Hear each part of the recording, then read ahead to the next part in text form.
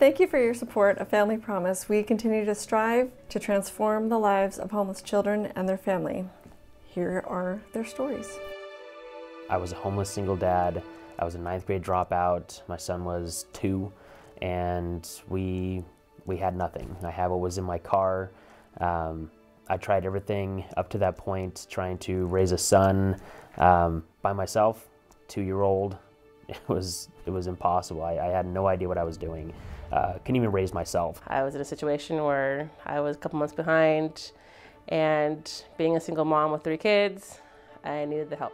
It's a, it's amazing uh, how little it takes to get to that point. You, you think you're fine one day and you're making it, and, and then you're not. It felt very um, not like I could pay my own bills.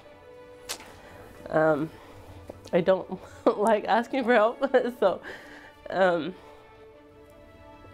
very emotional because I'm a pretty hard, strong person. So I figure out, hey, I'm a single mom. I could do it myself, but I needed the help.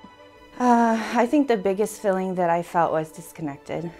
Um, I felt like I was floating out alone. It was really hard because I felt like no, nobody cared and I was kind of just there struggling in the ocean by myself with my babies kind of drowning.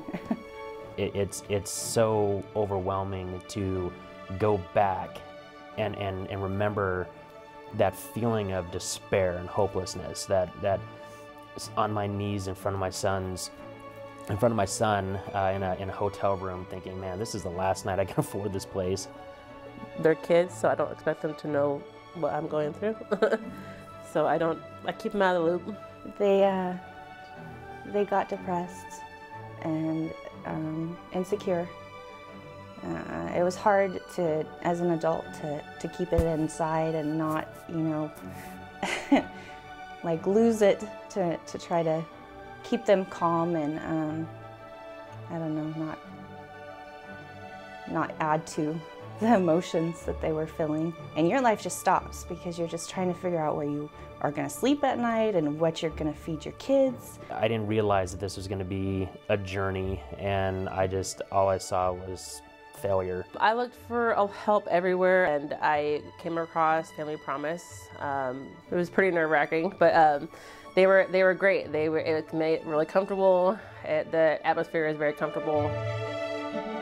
I was absolutely terrified when they accepted us.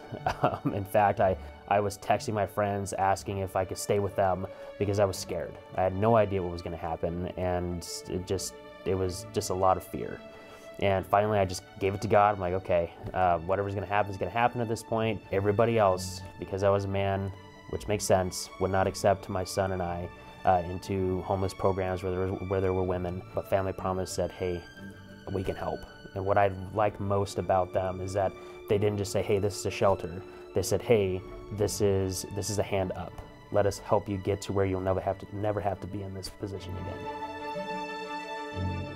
Finding family promise and finding some place where you can feel connected and you're not out there floating around by yourself, lost with your family, was pretty awesome.